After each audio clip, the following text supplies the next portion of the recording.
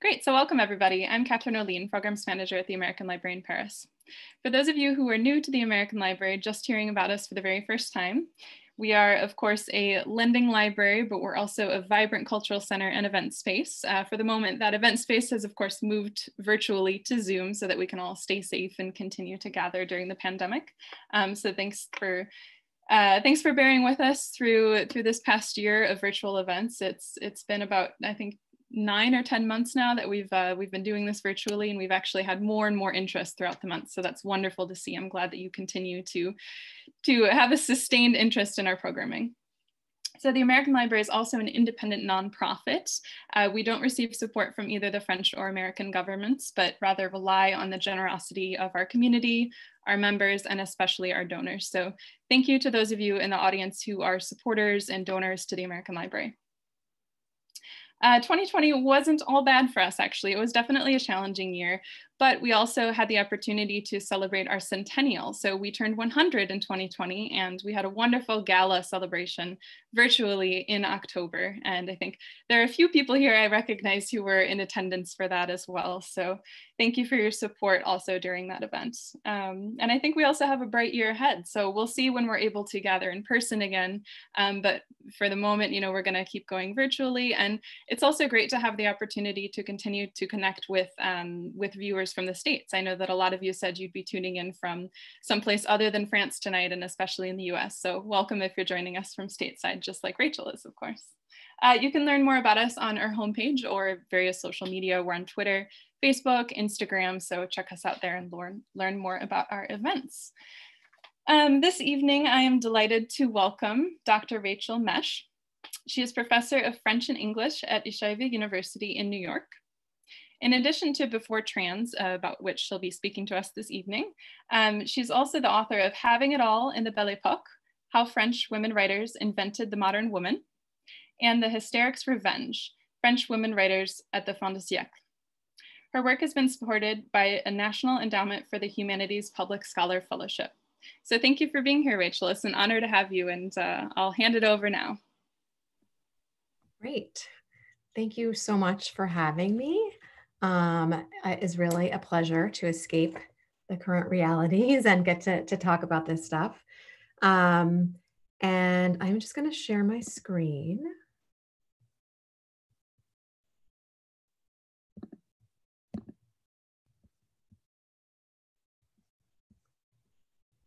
Hmm. For some reason, Catherine, it is not giving me the option. Hmm. Should I go ahead and make you full host and see if that solves things. Here we go. Here we go. Here. Oh, you got it? Okay. Okay. Is that working? Yes, perfect. Okay, great. Um, okay, so I just want to keep track of time here, but um, okay. Um, all right, so um, I thank you all for enduring yet another Zoom as well. I know uh, the screens can be a lot in these times. Um, so today I'm going to take you back to the 19th century a time when gender roles were rapidly shifting in France um, for a variety of reasons, including urbanization, the expansion of the mass press, and advances in women's education. Um, and those shifts, the result, the shifts that resulted from, from all those changes, the gender shifts, have been the focus of pretty much all of my work um, since my dissertation, actually. Um, and initially that was through a focus on French women writers. So I thought I was gonna, I would start today by kind of tracing that connection to walk you through how my previous book, um, Having It All in the Belle Epoque, led to this work on trans identity in the 19th century. Um, and so I'll read a few excerpts along the way um, after sketching that connection from before trans. Um, and I'll wrap up by sharing some of my favorite research finds from the process.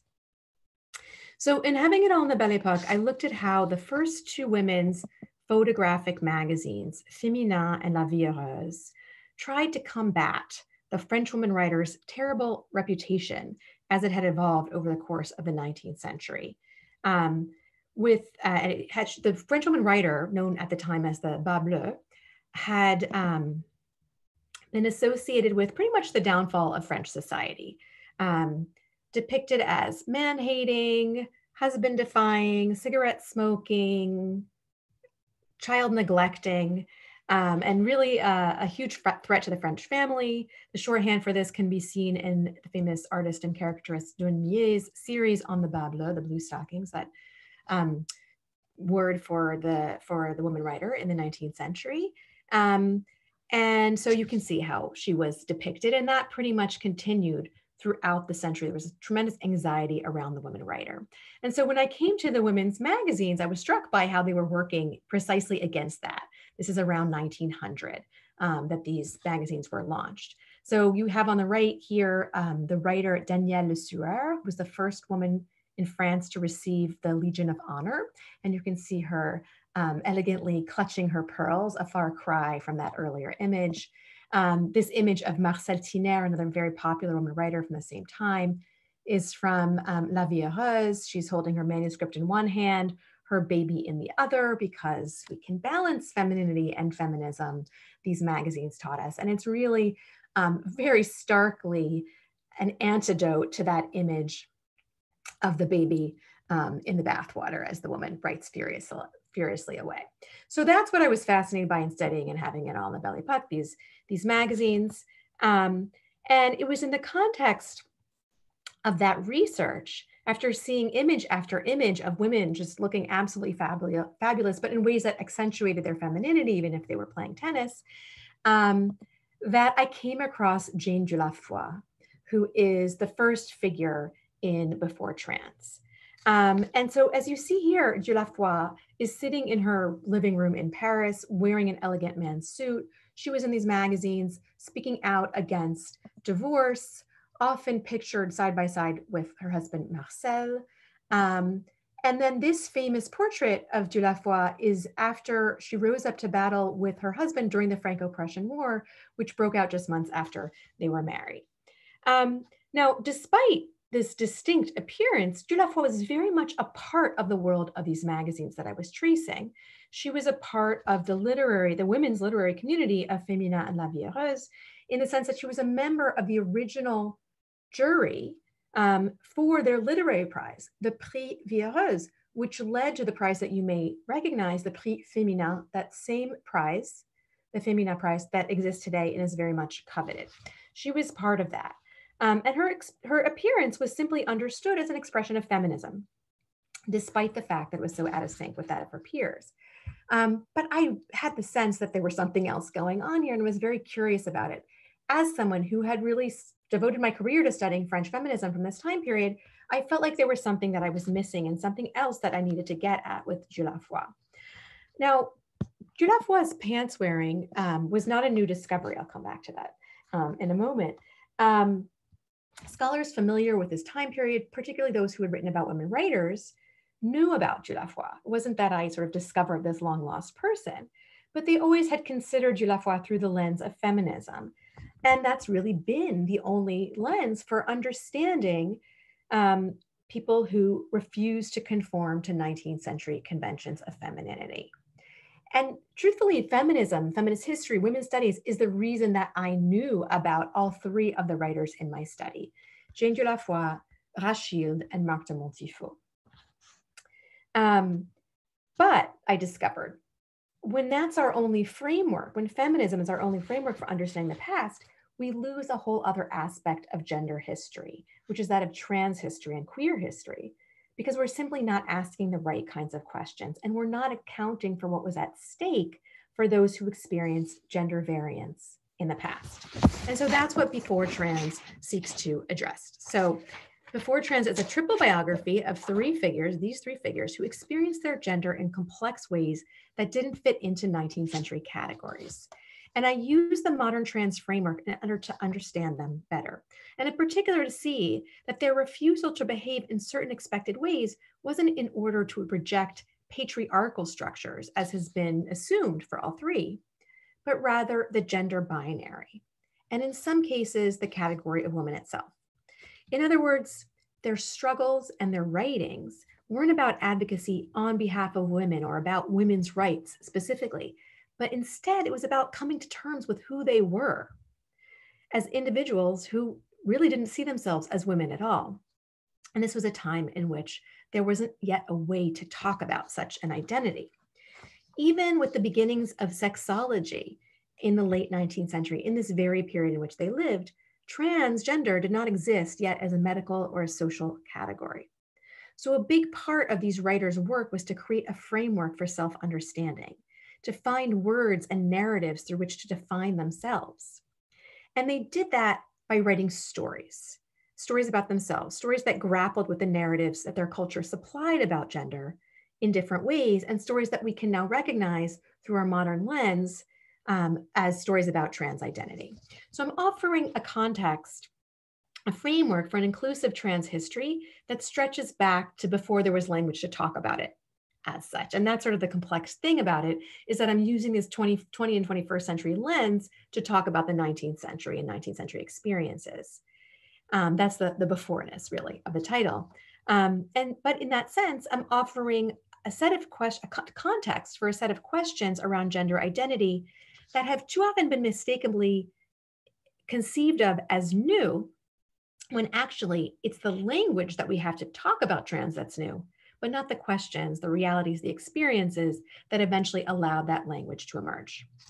Um, so just before I'm going to read you a little bit from the introduction of the book, but I just wanted to mention something about um, pronouns, which was a complicated question because of that bridge between 21st and 19th century.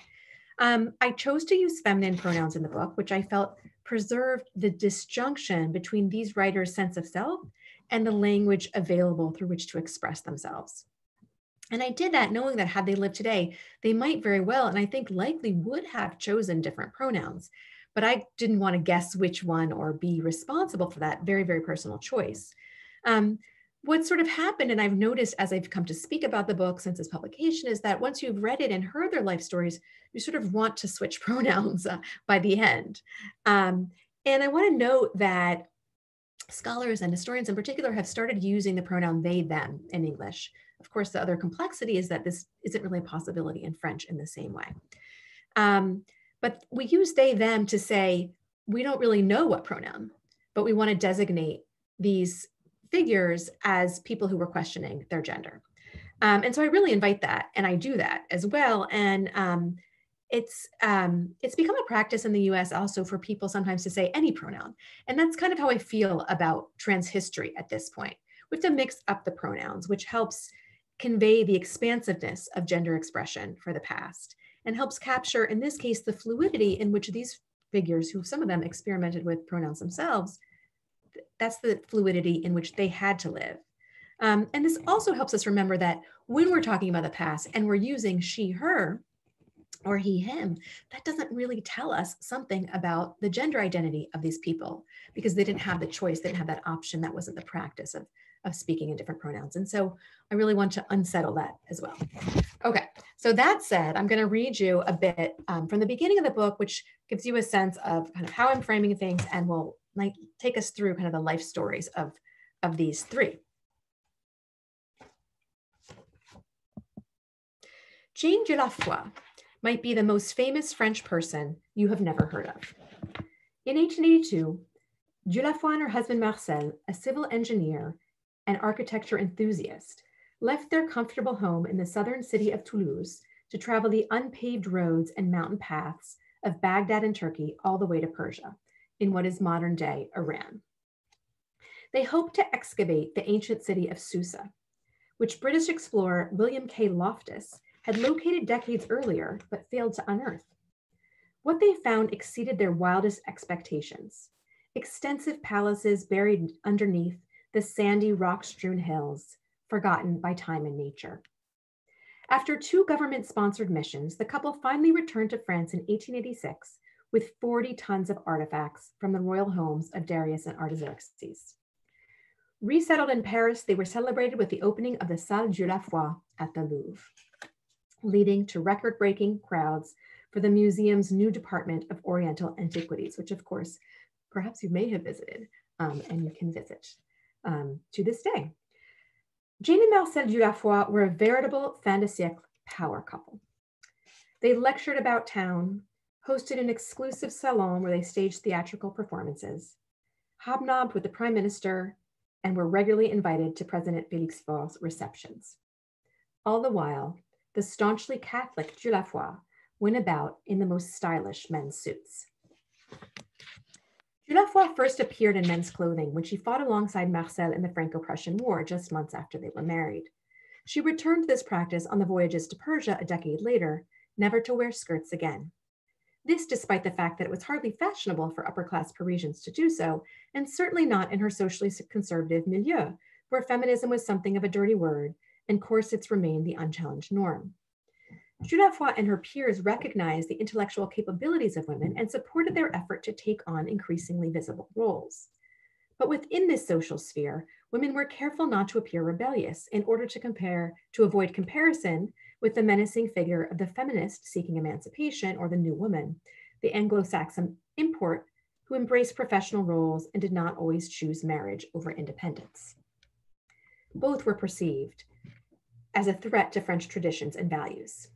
Instead, shifts in gender roles in Dieulafoy's upper bourgeois circles were contingent on balancing modernity with conventional notions of womanhood, career with domestic roles, and of remaining feminine in the process. And that's the world, of course, of the magazines that I showed you before. Nonetheless, Dieulafoy had secured a permission de travestissement, a pants permit from the police. And this isn't hers, this is actually Rosa Bonheur's, which is in um, the Café Rosa Bonheur. For it was illegal in the 19th century for Parisian women to circulate in men's clothing without one. As of a city ordinance established in 1800, any woman who wishes to dress as a man was required to have the signature of a health official attesting to her medical need to do so. It's unclear how Dieulafoy qualified as no record of her actual application remains. She was one of only a handful to take this measure. Dieulafoy uh, found a way to express her gender in a way that, to all appearances, made her comfortable and confident. But there were signs that, as she lived this unconventional life, she puzzled over who she was. She kept a notebook filled with clippings containing any mention of gender crossing or pants permits from current events, social commentary, or fiction. When her own name appeared in these accounts, it was underlined with blue pencil. She also had an archive of unpublished manuscripts of gender crossers across time. This is not um, the actual notebook that I refer to, but it's, it's, it's the look of it. Uh, it's from a different scrapbook that she has um, in her archives. So the name Rachilde may have also appeared in those pages, for she too had secured the pants permit at around the same time as Dieulafoy. Born Marguerite Eymery, she had abandoned her rural home for Paris upon turning 21 in 1881. Taking the name of a Swedish nobleman who she claimed to have channeled during a family seance, she found her way to the bohemian literary scene, eventually appearing at balls and cafes dressed in men's clothing. She had cut off her hair, stopped powdering her face, and began wearing bigger shoes as well. So while Dieulafoy was digging up ruins in Persia, Rachilde released her decadent novel, Monsieur Venus, with an enthusiastic Belgian publisher in 1884. The book earned her a hefty fine and a prison sentence, which she avoided by staying in Paris, while also making her the sweetheart of the Parisian literary circuit. Unlike Dieulafoy, Rachilde seemed to embrace her identity as a rebel even to cultivate it as a reputation, while steering clear of any identification with women writers or feminism. Her calling card, as you see in the middle here, read Rachilde, man of letters. But at the same time as she was building a reputation for wild antics, Rachilde felt deeply vulnerable and struggled for stability. In 1889, she surprised those who had come to think of her as an eccentric rebel by marrying the writer Alfred Vallette choosing intellectual affinity and friendship over romantic inclination. She described that marriage as a form of suicide. At that point, she put her pants away and began working with Vallette to revive the famed literary journal, the Mercure de France, becoming one of the most influential critics of the time as its chief book reviewer. Still, Rachilde continued to rail against the confines of her sex in fiction and plays that pressed hard against gender norms and conventional sexual categories. In her writing, Rachilde imagined her avatars alternately as a monster, an hysteric, an animal, a werewolf, a man. She was never entirely sure what she was or who she was, but she was sure that the term woman did not describe her. In Dieulafoy's notebook, another name appears next to her own with striking frequency, Marc de Montifaud, the name by which the writer christened Marie-Amélie Chartroule de Montifaud was best known. she too had received official permission to wear pants. Like Dieulafoy, she wore tailored men's suits and a man's haircut for most of her life. Montifaud had, began, had began her career as an art critic, and her work in that domain has recently been, recognized. But it was not her essays that made headlines in Montifaud's day. She published dozens of anti-clerical tales for which she was incessantly and disproportionately pursued by the French censors, some of whom were enraged that the writer they had assumed was a man did not appear as they assumed. In 1887, in 1877, Montifaud was charged with offense to public decency and sentenced to prison. She would serve time in an asylum instead. The legal thrashing did not stop her from continuing to write. Despite repeated death threats and attempted poisoning and setups meant to prove her sexual impropriety, she continued to churn out controversial historical works, in addition to works of fiction that mocked the political forces out to get her. Um, these are some of her censored writings. In some of these writings, Montifaud celebrated historical figures who had been persecuted for their difference or simply misunderstood, including the Abbé de Choisy, one of the gender crossers of whom Dieulafoy had also written an historical account. And in all three of them, there's this um, connection through their looking to the past to find models for their own identity. When Montifaud returned to Paris in 1882 after fleeing her latest prison sentence, she was no longer the awkward veiled young woman described in the press accounts of her trials. She had taken to wearing men's suits, as she would for the rest of her life. With her closely cropped hair framing her broad square jaw, she easily passed for a man, and many of her friends and colleagues would sometimes address her with masculine pronouns. Defiant to the core, Montifaud seemed perplexed that her behavior could be anyone's business but her own. Je suis moi, she wrote. I am myself, myself alone, which is certainly not enough, but ultimately, I am me. It was a tacit acknowledgement that her life, like Dieulafoy's and Rachilde's, had no clear referent within the, within the gender stratified social structures of her time. Okay, so that sort of takes you um, through sort of the broad strokes of um, their life stories. But I wanted to address another aspect of my framing, which is the notion of the gender story, because the book isn't really just comprehensive biographies. Um, it is three life, I present these life stories by tracing how each writer came to understand their gender nonconformity and express it. Um, and so in the sense, they're biographies of identity and self-understanding because all three of them were writers. Um, and the way they did that was largely through storytelling. And so I was kind of inspired by this work by the contemporary singer-songwriter Rae Spoon, who writes, more and more I've thought of gender as a story that I tell myself. And so I wondered to what extent was gender a story that one told oneself in 19th century Paris?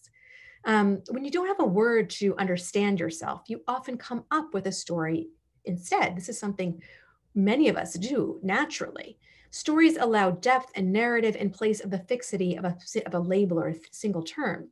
And that's what I'm following in each biography the way in which these writers made sense of themselves through their writing, how they worked to settle themselves into narrative and adapted those narratives over time because those stories we tell about ourselves they're always changing in relationship to other stories we, we, we come across and as we evolve and grow and i argue really in the book that the stories were in a sense life-saving for these writers um, certainly life determining the stories gave them what Rachilde would call freedom through imagination. And their storytelling allowed them to be gender creative, which is a kind of contemporary term for talking about gender nonconformity, um, rather than gender normative. And so this is a book about 19th century French writers, but it's also a book about 19th century French history and culture because these figures did that work by grappling with the stories being told around them. Um, in this place and time, gender was actually everywhere. So they're uh, trying to understand themselves in relationship to the mass press, in relationship to fiction. This is the time of Flaubert, of Baudelaire, of Zola, of so many writers kind of exploring um, sexual and gender identity, you know, obviously not in those terms. Um, they explored themselves through contact with visual culture. This is the era of the Impressionists. This is Manet and Renoir and Kai Caillebotte and people depicting um, gender in all kinds of ways in art, the era of science and medicine.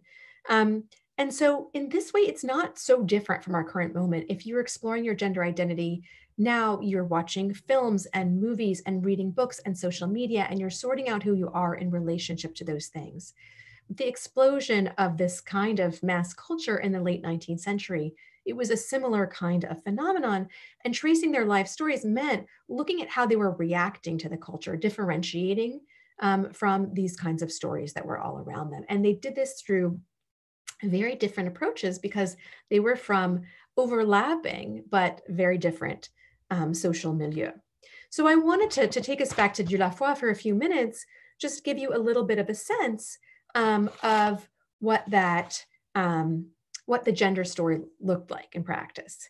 Um, for Dieulafoy, and that section of the book is called Masculinity from God and Country, because this was really the grand narrative that Dieulafoy came up for themselves. Um, and uh, they model themselves on a very conservative masculine ideal, that of the French imperialist, um, the one who would bring big chunks of Persia back to put on display in the Louvre, and that was considered an act of heroism.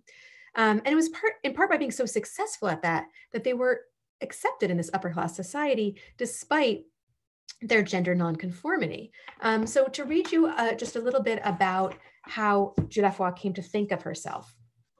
I will return to the book um, for a moment. So um, this here I'm explaining how Dieulafoy differentiated um, himself from those publications, the magazines that I mentioned, Femina and La Vie Heureuse. While Dieulafoy agreed to be featured in these publications, she did not see herself as a modern woman. And that rubric of the modern woman, la femme moderne, was really this kind of apolitical category um, of this female achiever who was not really involved in politics. In order to advocate for a better future, she always turned towards the past, where Dieulafoy found a handful of examples of a less rigid model of femininity. In the process, she rationalized her comfort in what was an almost entirely male milieu and reconciled it with her conservative values. It was not that she rejected femininity, her writings suggest. It was that she rejected current models of it. If she was not a modern woman then, Dieulafoy fancied herself an ancient one.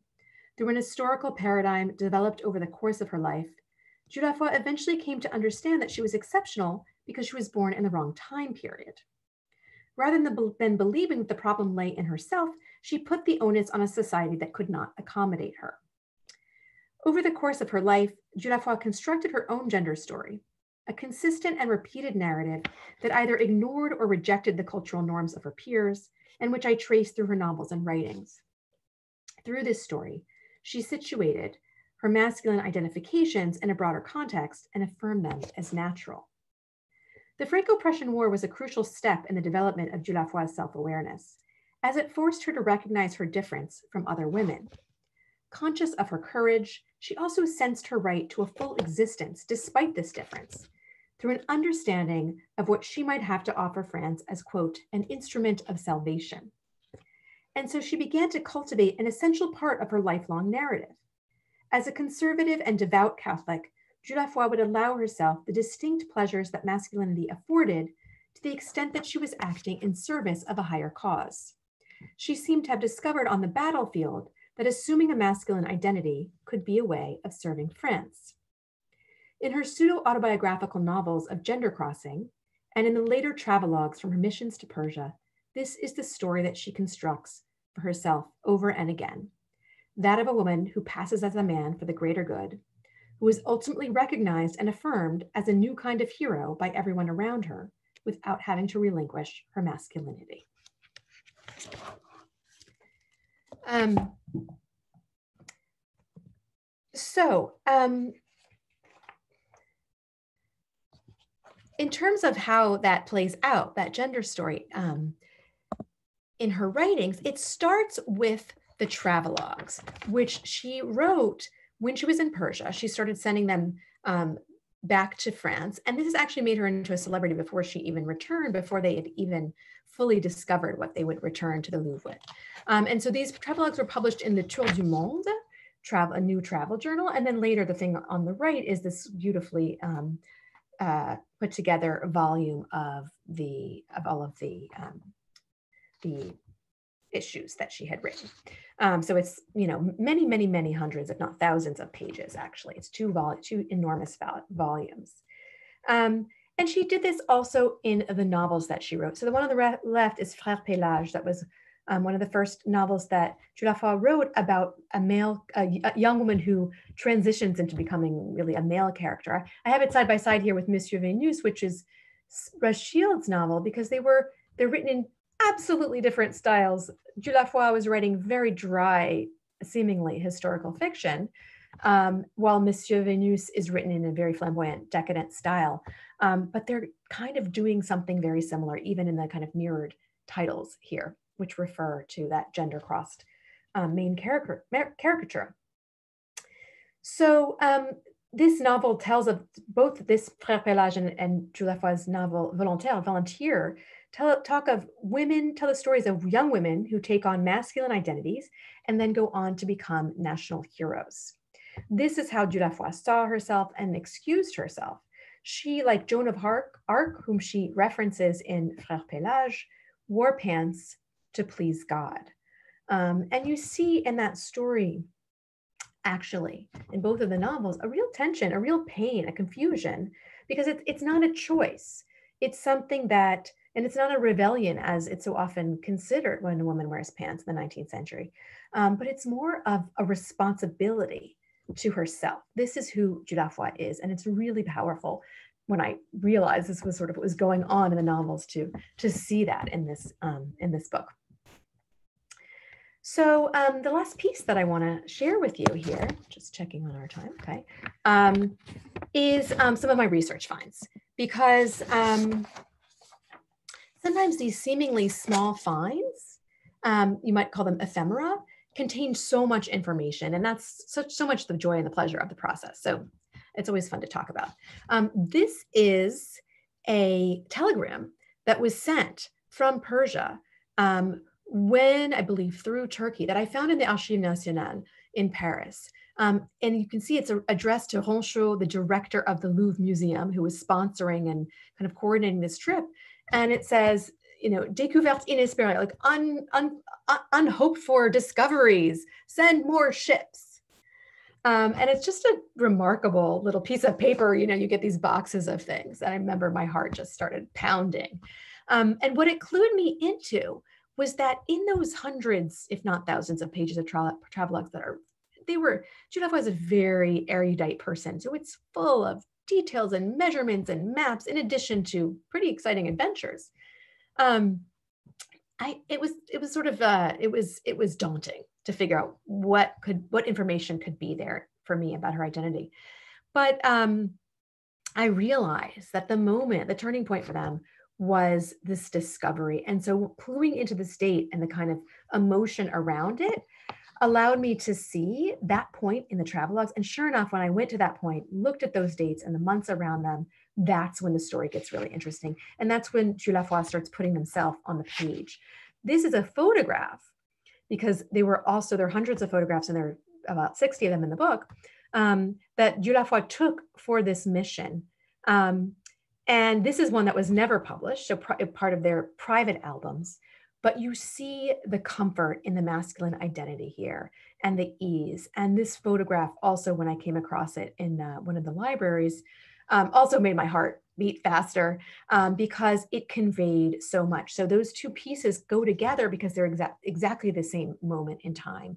That discovery, and that's the gender story, right? That discovery is what authorized her to feel that, um, you know, for God and country, she could be a man. This is a, another small piece um, is a letter that I found in Marc de Montifaud's archive, which is at the um, Bibliothèque Marguerite Durand, the feminist library in Paris. That's a letter from a friend explaining to Montefaux that they could wear pants in public for an upcoming lecture, I believe it was, despite not having sort of the physical um, permission that we saw um, earlier. And um, what was so powerful about this, it's very um, it's a very formal letter, chère madame, um, but it shows how much was at stake for them personally. And it shows it's a window into the need to navigate how to safely appear in public. This letter shows us that wearing pants was not an act of defiance um, for any of these three. but of personal expression of identity that was dangerous but necessary and and had to be kept very discreet and the writer says uh, don't worry i didn't use your name i just checked that this was okay and you know my wife and kids send send you regards um, and so this is something that Montifaud didn't speak about specifically in their writing, um, but having this information allowed me to read their writing differently and to see that that part of the story that was actually present. It couldn't be explicitly um, said. Um, and so then the final thing that I'll share with you, which I will um, take you through um, in my conclusion, is not a small thing, but a large thing, which was, um, well, I'll just I'll, I'll, I'll narrate it and, uh, and then we'll, we'll go to questions. Um, so in the summer of 2018, I stumbled into Jane Dieulafoy's living room. I was in Paris conducting some final research for the book during a sweltering heat wave in late June. Temperatures were making their way to the upper 90s as I faced off against a list of still needed sources. The hunt took me far from the modern comforts of the French National Library, which had air conditioning, but required room reservations and long waits. Instead, I was scrambling around the city to smaller, older venues that even in the heat were more pleasant to work in. At the Bibliothèque Historique de la Ville de Paris, which is uh, pictured here, the, the courtyard, I could peruse the pages of certain rare editions of newspapers and magazines that the National Library would only offer in microfilm, if at all. What's more, the BHVP was housed in the former home of Diane de France, daughter of Henry II. It's a gorgeous 16th century mansion nestled among the winding, winding streets of the charming Marais neighborhood, the Paris of Balzac and Hugo. I'd also been to the library at the Institut de France, the seat of the Académie Française. In the late 19th century, the Institute, which houses the French academies of arts, letters, and sciences, was known metonymically as La Coupole. Its famous cupola, pictured here, stands directly opposite the Louvre on the other side of the Seine, connected by the Pont des Arts. Official entry into La Coupole marks the highest form of intellectual achievement. One doesn't enter La Coupole, it is said, but is rather received there. Only when one member dies can another be elected to join its ranks. Because remarkably, Marcel Dieulafoy had been selected for this honor, both Jane's and Marcel's archives are there. He had become an immortel, an immortal one, as members are dubbed, together with the Abbé de Choisy of long before. So it was something of a coup. Pardon the word, has a whole new sense now. Um, but it was something of a coup to get to work in their library, since to be admitted, one needs permission from a living immortel, something I had improbably secured. It was always a thrill to breeze through the entrance gates on the Quai de Conti and make my way to the 19th century reading room, even if it was stifling indoors in the summer heat. While the official archives are at the Institute, I had known for a while that Marcel bequeathed the Dieulafoy home to the Red Cross organization and that it served as some sort of headquarters. I had heard that the 1870 portrait of Jane as a soldier was hanging there, but I wasn't sure that a trip to the Passy neighborhood near the Eiffel Tower was worth my precious research time, especially in the relentless heat. I had photographs of the painting after all. I couldn't reach anyone on the phone when I tried to call, just one of those maddening phone trees. The hours weren't posted anywhere. But since many of the smaller archives didn't open until the afternoon, I decided to take my chances one morning. It seemed at least worth a shot. I found a bus that took me directly from where I was staying in central Paris to the 16th arrondissement, and I found the building easily. A squat standalone structure, magisterial all the same. Entrance seemed, entrance seemed doubtful at first. I rang the bell, and an answering machine picked up again. I tried again, reasoning the trip would have been worth it just for having seen the outside of the house and taken a photo of the small plaque that marked it as a patrimonial site. But then someone answered. I'm an American scholar working on Madame Dieulafoy, I offered. I was ushered in immediately, directed to the second floor. A door opened, and there was Jane Dieulafoy's living room. Not just the painting of her, but much of the decor the wallpaper, the ceiling, the cornices, the fireplace. In some ways, it was just as I had seen it in photographs. I recognize, and there's there's the painting that we that we started with. Um, unfortunately, um, it is in the glare of the Parisian sun and suffering very much from it. Very very sad. Um, so and here is the fireplace, right? The dramatic, dramatic, I recognize the dramatic chimney in front of which she sometimes posed for pictures, tiny beneath the sweeping heights of the floor to ceiling fixture. But the black and white reproductions had not done it justice. I had to catch my breath to take it all in, this coming together of the image on my computer and the reality in front of me. There's something especially powerful about this kind of unmediated contact with the object of your research. I felt as though I'd walked into a time capsule. Even though there was also plenty of modern clutter, plastic conference tables and chairs, papers lying around. In the back stood a red and gold break front. Um, stuffed with bits of colored pottery. Apparently, not all of their spines ended up in the Louvre. I looked closer at the fireplace. This the focal point of the room. It was indeed a veritable marvel, as the women's magazine Femina had described it in 1902. The engravings that embellished the mantle were painted in startlingly vibrant colors, which I had never before appreciated. The scene depicts the mythological story of Perseus slaying the Gorgon. Surely must have chosen the scene in honor of Persia's namesake. The whole room is a blend of Persia and Paris, signaling the Dieulafoys' double alliances. The scene of Perseus on the mantle is crowned by a series of fleurs de lis, those flowers long associated with the French throne, and dotted with daisies like those found on the Persian, Persian archers now on display in the Louvre, and that's on the right, which Dieulafoy called the Immortelles, as well as her sons. Did she suspect that their discovery would guarantee Marcel entry into that illustrious academy, making him an immortel? Did she realize they would secure her legacy as well? So I will leave it there um, and uh, open it up for questions. Great. Thank you so much, Rachel, for this wonderful presentation and also the, the rich narration at the end of your of your research process. It was, it was quite the journey you just took us on. That's fantastic. Um, yeah, so we do have time for questions. Um, if anybody has any, please go ahead and submit them via the chat feature and I'll read them aloud. And also, um, maybe while we're waiting for those questions to to flow in here, Rachel, maybe you wanted to let us know if you had any ideas of where we should where we should buy your book. Um, I'll go ahead and drop a uh, a link in the chat to your um, your publisher. Uh, so this is directly through Stanford University Press. But um, if you have any other tips to share for us, those would be great. Um, sure. Well, as I say, wherever books are sold. Um, bookshop.org is always a great organization to support in the States, supporting small uh, independent bookstores during this time. So you can get it there. If you're not um, in the US or Canada, it is probably easier just to get it through Amazon because um, it ships very quickly and directly, and it's pretty reasonably priced um, that way as well. There's a winter sale at Stanford that's 40% off now. So I think the book is $18, which is um, pretty incredible for, um, for this kind of book. So I hope you will enjoy it. Yeah, thank you. And I've included the um, the code there in the chat for anybody who's interested in obtaining the book directly through the publisher as well. Um, although, just note the code is only um, going to work if you're ordering in Canada or the States. Um, all right. Well, you know, I might launch into this with one question of my own as we continue to wait for the audience to, to kind of type these out here. Um, you just, you sound so passionate about these figures and about your research, and that's something that really comes across tonight.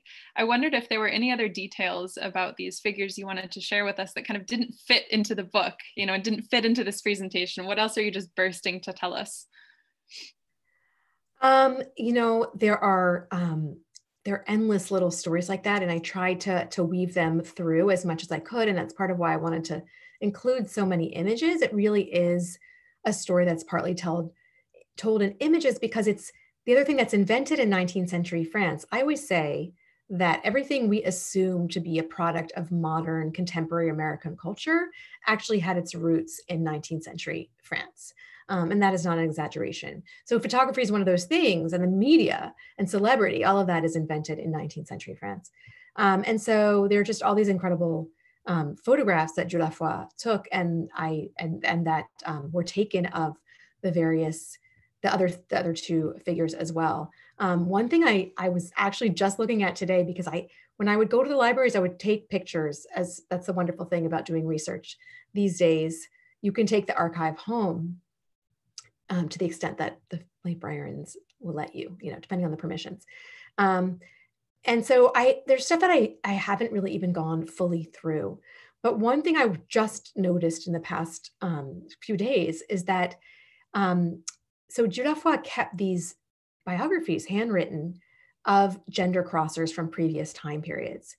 And um, and they seem sort of straightforward, just sort of she went and did research in the libraries and and and wrote these wrote their stories out. But um, I saw that on the cover page of the Abbé de Choisy, who was um, pretty famous in France and born in the 17th century, lived into the 18th century. She'd crossed out his name, she'd crossed out ab- the Abbé and switched it to Dame de Qualité. So the Abbé is sort of known for having these different identities or, you know, uh, being kind of an early trans figure. Um, and it looks like Dieulafoy was actually kind of regendering or trying to make sure that we understand the abbé, based on their own research, as feminine rather than masculine, who sometimes quote unquote cross dressed, which is, I think, generally, well, that's what you'll find on, on, on Wikipedia.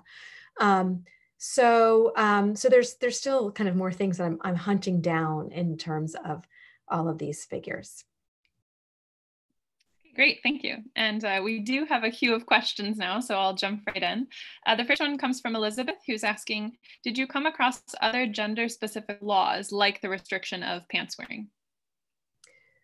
Um, that's really the main one. And it wasn't always, I mean, I, I, I'm sure that there were, there, you know, people were brought into the police for much less. Um, but of course, this is all very class-based. So if you these are this is a very kind of elite practice for these three. Um, and so they were mostly protected, but there was a moment actually when Montifaud did something very public um, because she, they were very upset about something that had been written about them, and they slapped the editor of Le Figaro, who had published something um, kind of uh, denigrating about about that seemed to be about them, at the Comédie Française. Took a copy of the newspaper and slapped him in male clothing. And so they weren't immediately, rec- Montifaud wasn't really immediately recognized because it was one of the first moments that they had come out in public dressed this way. Um, and that evoked a kind of um, crackdown on the pants permit because as it was reported on in the newspapers, they were saying, you know, don't we have a law against this?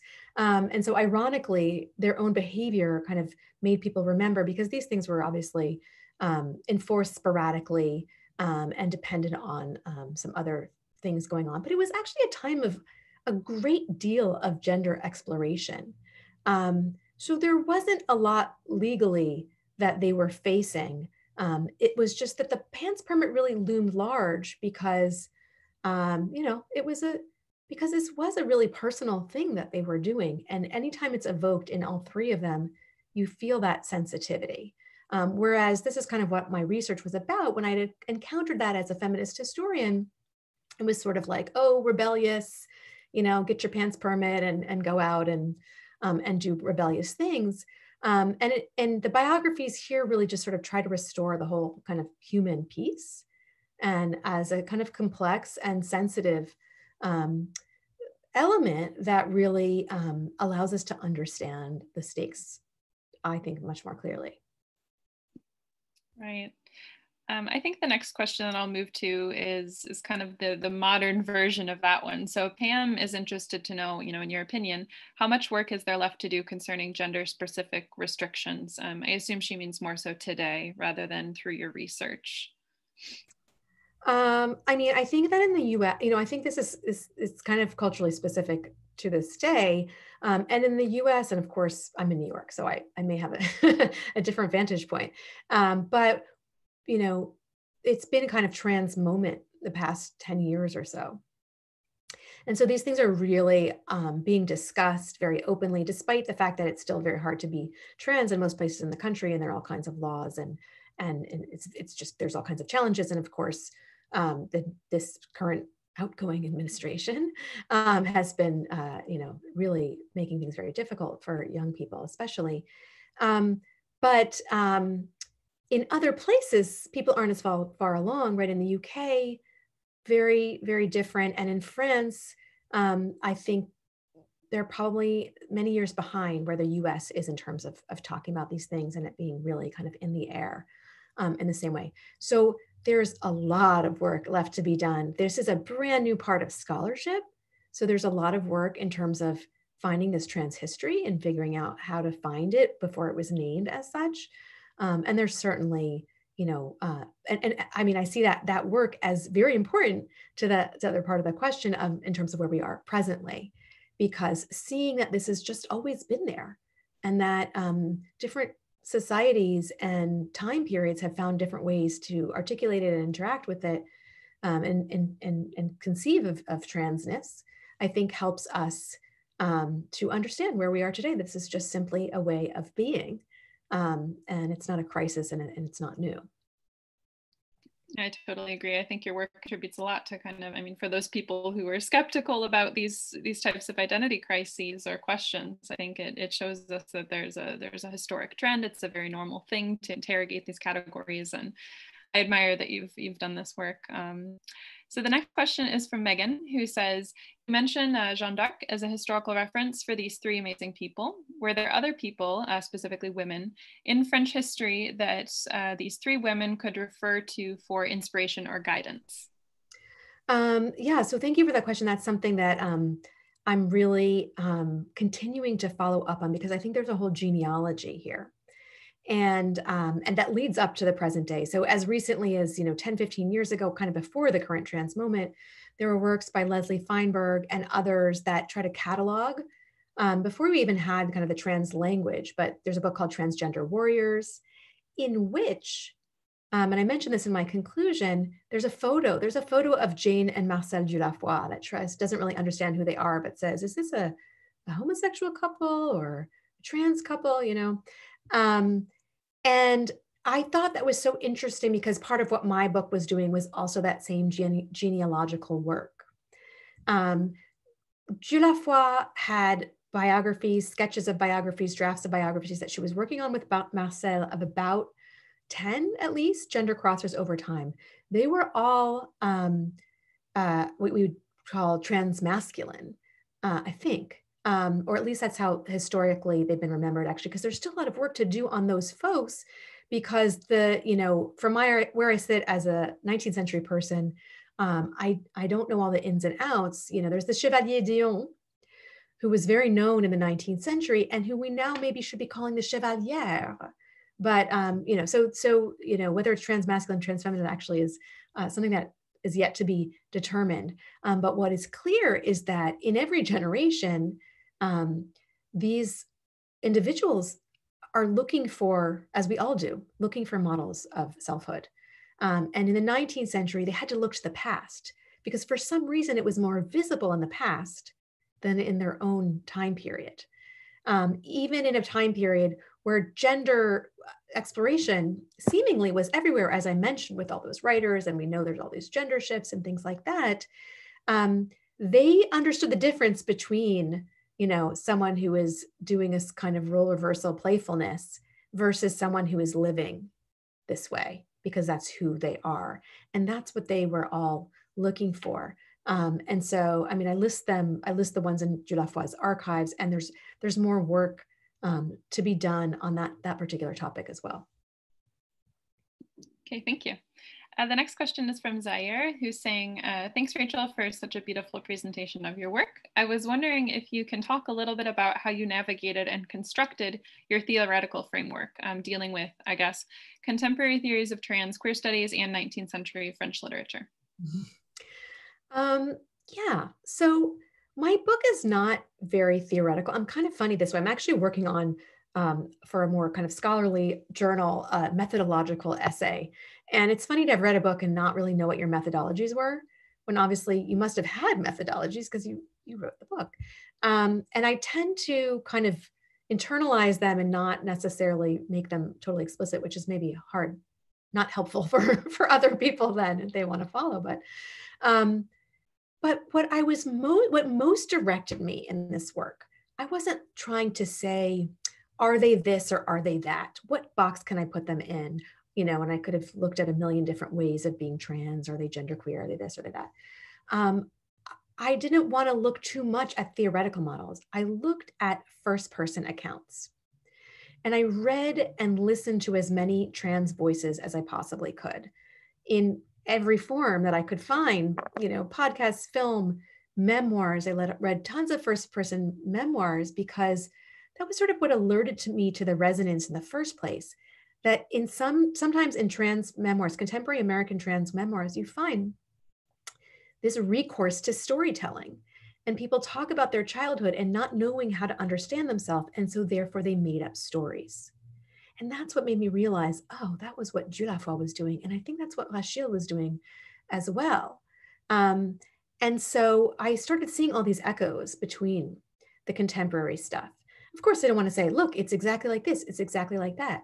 But having those voices in my head of the multiple ways in which this kind this you know under the very expansive rubric of trans one might experience one's life allowed me not to focus on this is definitively x while this one is definitively y but rather to reframe it and to say let's see this instability and let's listen to what they have to say.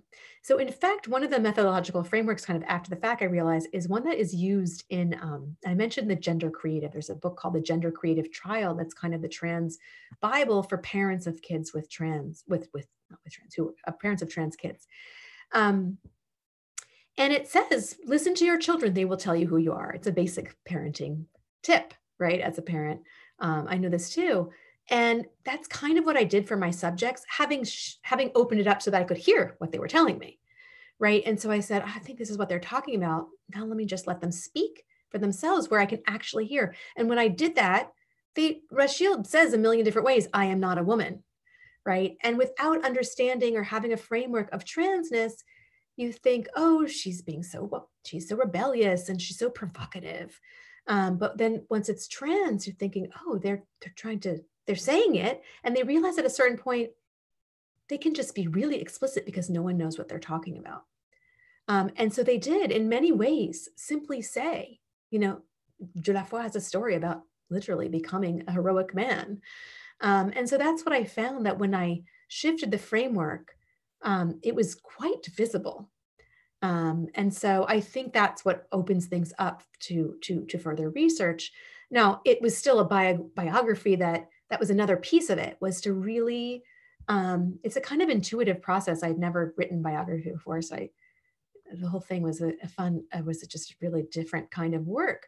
Um, and that's why i like to show pictures of their handwriting or things that they actually wrote the things they the objects they touched and that's why being in Dieulafoy's house was so um, just incredible of an experience because biography is very intuitive. Um, and it meant reading their as, just as I listened to many, many trans voices, I listened to their voices, listened for repetitions, listened for, looked for the places where I felt like they were really working, you know, the kind of flashpoints. Um, and so that was kind of my my methodology. Um, it's terrible to say intuition was my methodology, um, but to really live with these people and to, I think that um, as a scholar, this is something that I was haven't really, as a literary scholar especially, wasn't really taught.